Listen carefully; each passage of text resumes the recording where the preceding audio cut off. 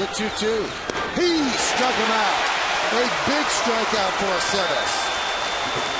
As the Mariners leave the bases loaded.